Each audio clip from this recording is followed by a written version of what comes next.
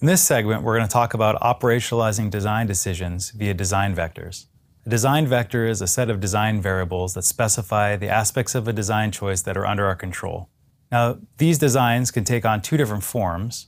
One, where we have control or influence over alternative novel solutions. These are traditional designs. And then we also have choices, where we may have existing or off the shelf solutions. In practice, we often have a mixed set of different designs and choices that we need to trade and include together. These can be parameterized via a design vector, and the design vector must then be enumerated, where we list the possible combinations of different designs, and then we need to sample. The proposed designs and choices need to drive the value attributes. We call this value driven design. This ensures that we're focusing on answering the right question and not needlessly looking at design trade offs that may have no impact on the ultimate benefit cost trades. Now, the design vector specifies the space of designs that are going to be considered in this study. It's important to recognize this. The span of variables include all of the aspects of the design that we're going to consider. Every design variable has units and a range that's going to be considered, and possibly sampling levels. Good design variables capture the range of possible solutions. They're realistic, either physically or in terms of available technology or components. They're under the control of the designer, and they impact attributes. An example design vector for the space tug includes three elements the manipulator mass, which specifies the size of the payload, measured in terms of kilograms and has four discrete levels. This was chosen to drive the capability attribute. The second design variable is propulsion type. This is a categorical variable that included storable biprop, cryogenic biprop, electric, and nuclear thermal. The propulsion type was chosen so it would drive the delta V and the response time attributes. And lastly, the third design variable was amount of fuel on board, which was specified at eight different levels to get across a large range of different possible masses. The amount of fuel was chosen to drive, again, delta V and response time. Supporting the development of design variables, we developed an approach called design value mapping, which is a matrix based approach to ensure that design variables actually drive the attributes. We start off by taking our attributes previously listed and putting them along the columns of a matrix. These often include our units and range. Next, we put the design variables along the rows. This could be a very large brainstormed list. Each design variable should have associated with them units and range, so we have a good idea about the kinds of designs that we're going to be considering.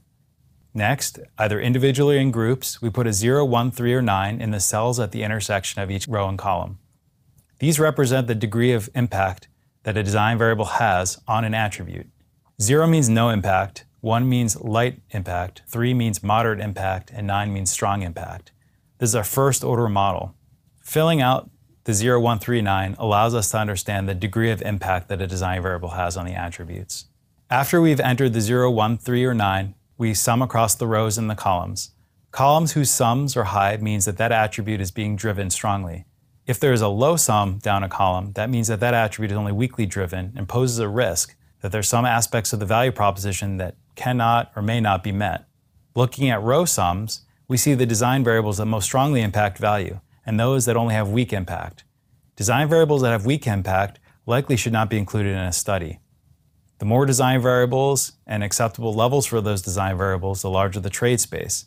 The bigger the trade space, the more effort required to develop the models and simulations to evaluate them, the longer it might take as well. So there's a tension between having a large enough design space that drives the values and a small enough design space that could be explored and analyzed in the resources allowed for the study. The benefits of a design value mapping process include focusing attention on driving value, identifying preliminary design drivers, and providing documentation and justification for an inclusion and exclusion decisions on factors affecting a trade space study. We've also found that it's incredibly effective as a boundary object for cross disciplinary conversation. Often in complex systems, you have many domain experts that don't talk to one another, or they locally optimize according to their own domain. By collaboratively filling out a DVM, these domain experts can identify points where there may be mismatch in mental models or where their decisions might negatively affect other decisions. A DVM also motivates creative proposing of new and different design variables, and therefore concepts, and helps to break away from anchoring on prior concepts that may not actually make sense going forward. A precaution of using a DVM includes the fact that it's a poor first order model. It's really only a screening model that should be used for focusing on design variables that most affect the value space. It also does not take into account context dependence and complex interactions among the design variables. These will be taken into account to the extent possible in the actual modeling and evaluation phase that happens later. You will be using DVMs in this week's project.